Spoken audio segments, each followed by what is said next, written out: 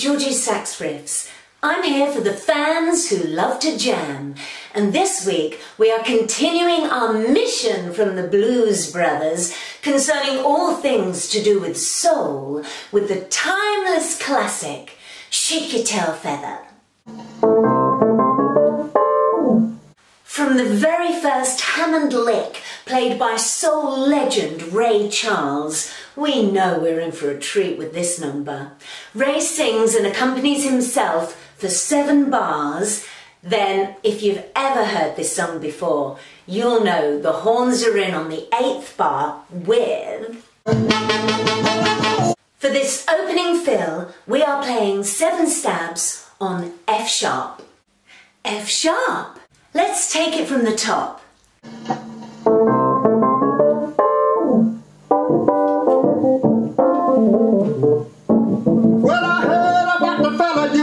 Dancing with all over the neighborhood. So why didn't you ask me, baby? Or didn't you think I could? Our next riffs are played in a call and response to Ray Charles's vocals. Our first cue is when Ray sings, Well, I know that the boogaloo is out of sight. We come in tight on the end of that line with G sharp, B, G sharp.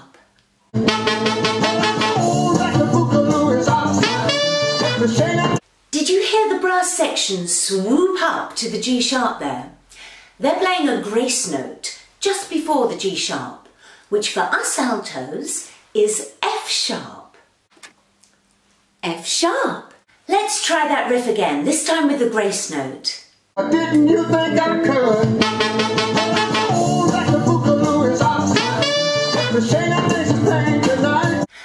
That's our next vocal cue. This time our response is. F sharp, A, F sharp, E, D, B, B. Let's go from and the shangalangs can't deny and let's crescendo with the horns on the last B. The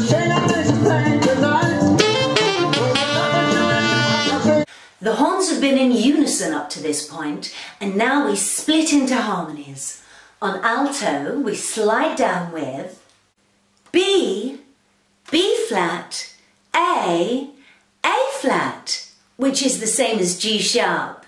The brass section play a really cool dynamic on the beginning of this riff. It's called a sforzando. It's when a note has a strong sudden accent followed immediately by piano. Then the rest of the riff has a crescendo. It's quite difficult, but it sounds great. Let's take it from the top up to the end of the sforzando riff.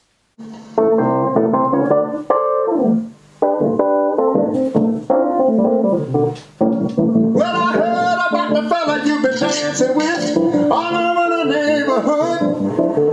So why didn't you ask me, baby? Or didn't you think I could?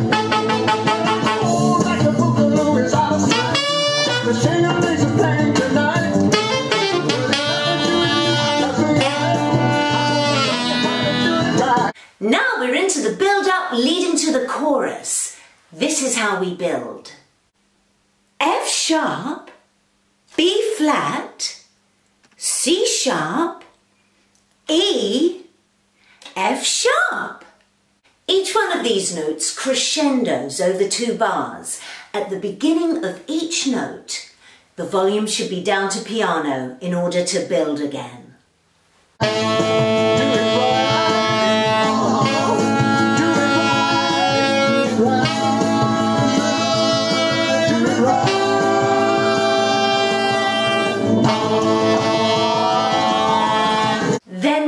Payoff. We stab F sharp on the it of twist it, then we continue under shake it, shake it, shake it, shake it, baby, with G sharp, G, G sharp, G, G sharp. Then on the last syllable of baby, we play F sharp again, followed by seven F sharp stabs. Let's take it from Twist It.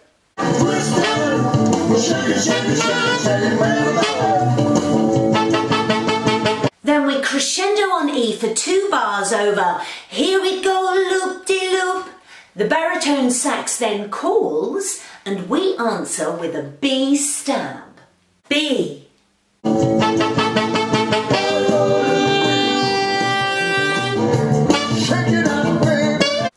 response to Ray's Shake It Up Baby, we play B, A, B, A, F sharp. Then we hold E again over two bars with a crescendo through the line Here we go loop de la. Then we're back into the build up towards the chorus. F sharp, B flat, C sharp, E, F sharp.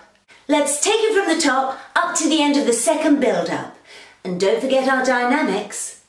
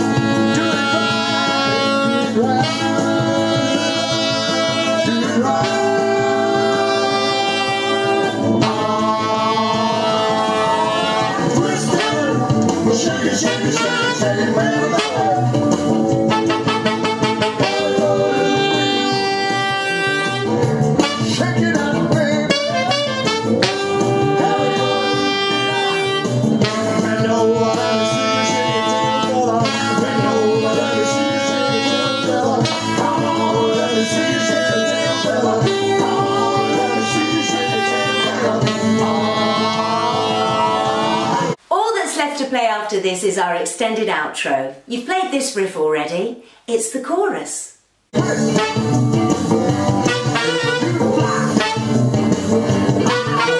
Now we play this outro for 33 bars. Your left little finger has never had a workout like it.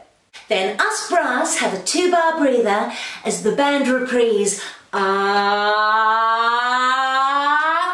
the two bars before the chorus. Then we're back in with our outro riff for 12 bars before finally ending on the 13th bar with a sweep up to B.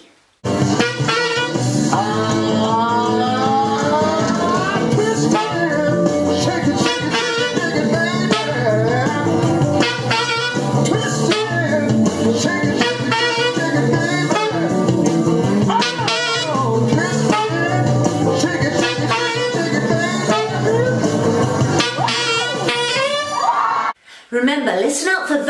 Cues to lead you through the song.